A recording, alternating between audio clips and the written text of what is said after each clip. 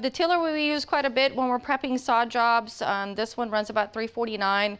It's very lightweight and easy to use. We are in a rural area, so a lot of our farmers will use uh, this type of weed eater because they have a lot of fence lines to deal with. We do have the 58 volt brushless and battery operated mower. This is also great for homeowners that are going eco-friendly. Then we've got our pressure washer here. We actually have this in our shop and utilize it on a daily basis in order to clean our equipment and the equipment that comes in from our customers.